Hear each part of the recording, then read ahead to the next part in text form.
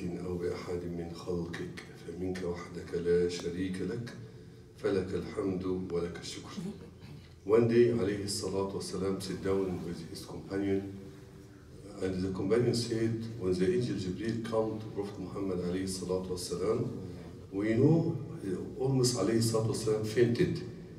And when he wake up, said, اللهم زدنا ولا تنقصنا وأعطنا ولا تحرمنا وآثرنا ولا تؤثر علينا. Then he said, Allah revealed to me the best 10 ayahs. The best 10 ayah in the Holy Quran and he revealed قد أفلح المؤمنون الذين هم في صلاتهم خاشعون والذين هم عن الله معرضون. Here قد قد أفلح if قد came before uh, فعل الماضي mean surely يبقى surely the good believers be successful. But the conditions, Allah said condition. Number one, they must concentrate in prayer.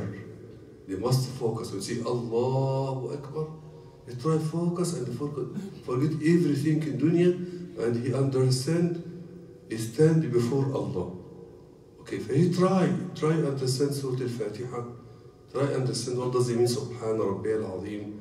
Try understand Sami Allahu liman hamida. I told you before hadith, if you say Rabbana walak al-hamd, Allah forgive you your sins. Easy, very simple.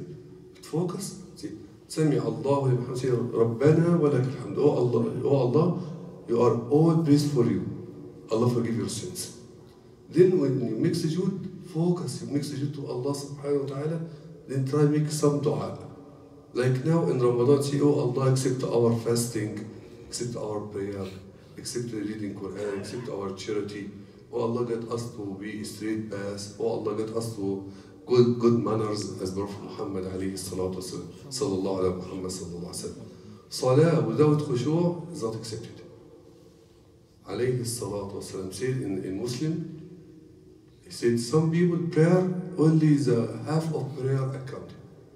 Or one quarter, or one eighth, and one one tenth. And some some people unfortunately prayer take it and threw in their face. Said, okay, ضيعك الله كما ضيعتني. May Allah protect us.